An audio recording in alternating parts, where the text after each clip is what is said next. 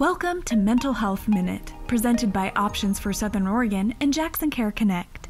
I'm Dr. John Rennick, and I've been amazed at the strength our community has shown through some stressful times over this past year.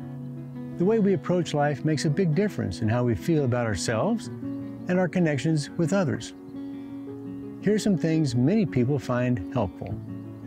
Finding humor in life is a great way to improve your mood and the mood of those around you. Give back. Our community needs your help.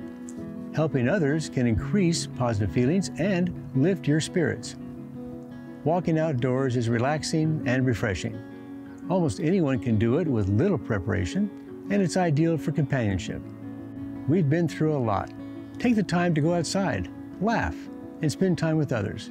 And please remember the importance of physical distancing and wearing your mask.